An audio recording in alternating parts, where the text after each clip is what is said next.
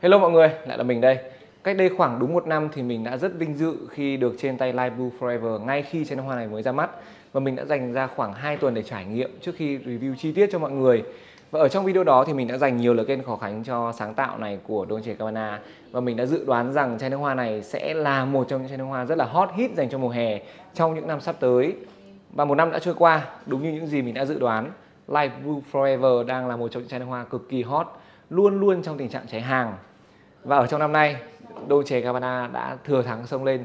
Tiếp tục cho ra mắt một ờ, bản flanker khác trong line uh, ờ, light blue Italian Love. Và vẫn như lần trước thôi mình đã ngay lập tức đặt chai nước hoa này khi mà nó vừa mới lên kệ để có thể trở thành người ờ, Việt Nam đầu tiên review chai nước hoa này cho mọi người.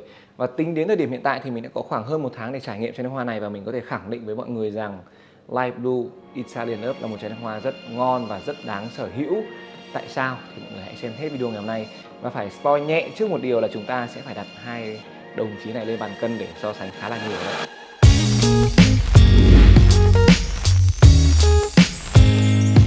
Đầu tiên thì chúng ta sẽ nhìn qua cái ngoại hình của nó. Mình sẽ không cho rằng nó quá là đặc biệt và đẹp như màu xanh ngọc của Forever từng làm. Tuy nhiên thì có thể nói đây là một thiết kế khá là đẹp Màu sắc hài hòa, trông nó mát mẻ, dễ chịu. Cái kiểu màu kết hợp trắng và xanh ở đây nó làm cho mình liên tưởng tới hình ảnh của những thủy thủ châu Âu trong những bộ phim mà chúng ta từng xem. Ngoài ra thì cái tên của chai nước hoa cũng rất là thơ mộng đúng không?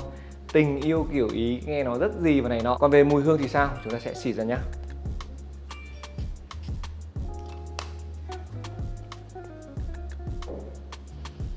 Ồ oh.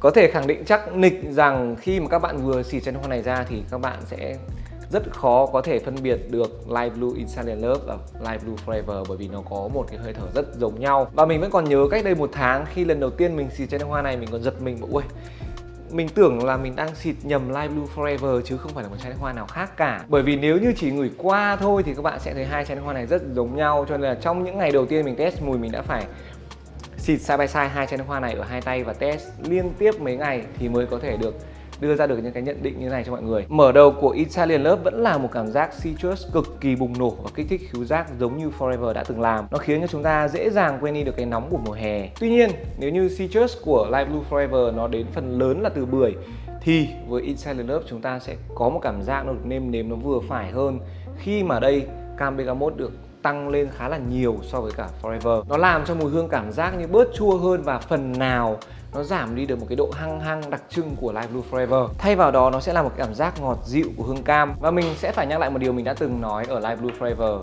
Đó chính là ở đây inside Love nó có một cái citrus làm rất là chân thật và mình nghĩ đó cũng là một điểm cộng lớn dẫn tới cái sự thành công của Forever như bây giờ. Và khi mà các bạn đợi khoảng 15 phút cho mùi hương dịu xuống, thì lúc này Italian Love nó lên một cái nét aquatic hơi nhẹ nhờ nốt hương ozonic, đồng thời là một cảm giác xanh xanh, nhẹ nhàng, cảm tưởng như mùi hương tạo ra xung quanh chúng ta bởi một lớp không khí trong trẻo, mát mẻ, cực kỳ dễ chịu. Để dễ hình dung thì mọi người hãy tưởng tượng như là đang chạy xe máy ở ngoài đường, trời nắng nóng. Sau đó thì rẽ vào một con ngõ nhỏ đầy cây cối tự nhiên chúng ta sẽ cảm thấy không khí dễ chịu đi và bớt oi ả hơn rất là nhiều. Càng về sau thì Italian Love nó biến chuyển một cách càng nam tính hơn. Lúc này thì chúng ta sẽ thấy sự xuất hiện của gỗ và cỏ hương bài. Cỏ hương bài ở đây nó sẽ là một cỏ hương bài ngửi nó hơi mát, vừa có nét khô khô lại vừa có nét hơi soapy, làm cho mùi hương đi theo một hướng nó khá là sạch sẽ và lịch sự. Và cũng giống như Forever, Citrus ở Italian Love nó cũng sẽ bền bỉ trên da của chúng ta từ khi chúng ta mới xịt ra cho đến khi nó chuyển hóa thành skin scent tất nhiên là nó sẽ nhẹ đi rất là nhiều,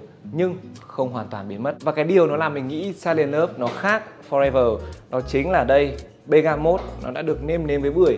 Nó làm cho tổng thể citrus ở đây nó rất là vừa mũi, nó dễ ngửi và nó phần nào bớt đi cái nét chua của Forever. Tất nhiên thì cái này nó cũng sẽ phụ thuộc vào gu của mỗi người cho nên anh em hãy tùy thuộc vào khẩu vị của mình để có thể lựa chọn nhé. Còn về cái giá phải trả thì nó có mức giá ngang ngửa với Live Blue Forever khoảng 2 triệu 8 cho 100ml Nên mình nghĩ rằng sẽ có rất nhiều người băn khoăn là chọn Live Blue Forever hay chọn Live Blue Inside Love đúng không? Vậy thì lời khuyên của mình sẽ như thế này. Như mình đã nói ở đầu video, Italian Love nó có một cái nét khá là giống với cả Light Blue Forever còn khác nhau như thế nào thì mình đã phân tích như ở trên rồi thì nếu như các bạn là những người dùng phổ thông không mang tính chất siêu tầm mà đã sở hữu Live Blue Forever rồi thì đừng phí thêm tiền để bỏ ra Insider Love, bởi vì chúng nó sẽ có một cái nét nó khá là tương đồng nhau. Còn nếu như các bạn chưa sở hữu Live Blue Forever thì mình nghĩ lựa chọn Insider Love nó sẽ phù hợp hơn một chút. Tại sao? Tại vì phần nhiều là vì những gì mình đã chia sẻ ở trên. Còn phần rất nhỏ nhưng mà lại cũng cực kỳ quan trọng, đó chính là Italian Love là một phiên bản limited. Chính vì thế, có khả năng chỉ vài tháng nữa thôi, các bạn sẽ thấy hãng ngừng bán Italian Love mua forever thì mua lúc nào cũng được nhưng Italian Love thì khác nha